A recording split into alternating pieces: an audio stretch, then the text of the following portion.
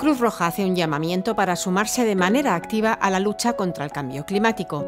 Todas sus asambleas deberán empezar por establecer un cálculo de sus propias emisiones de gases de efecto invernadero. Luego deberán tomar medidas para reducirlas de manera responsable y, por último, y más importante, compensar las emisiones emitidas desarrollando proyectos para combatir la pobreza energética, que es la incapacidad de un hogar de satisfacer una cantidad mínima de servicios de la energía para sus necesidades básicas.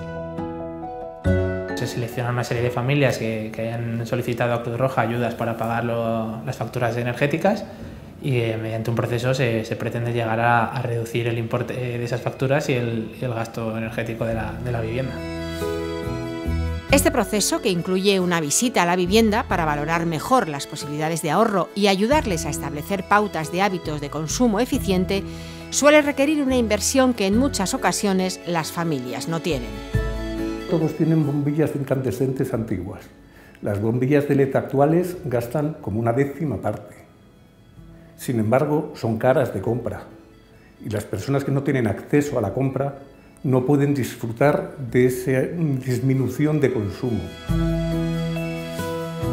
Para ayudar a estas familias, Cruz Roja invertirá 120 euros por cada tonelada de CO2 que emita en su consumo un llamamiento que cuenta con la colaboración de las principales empresas energéticas y que beneficia no solo a los 4,5 millones de personas que podrían estar en riesgo de pobreza energética en España, sino también a todo el planeta.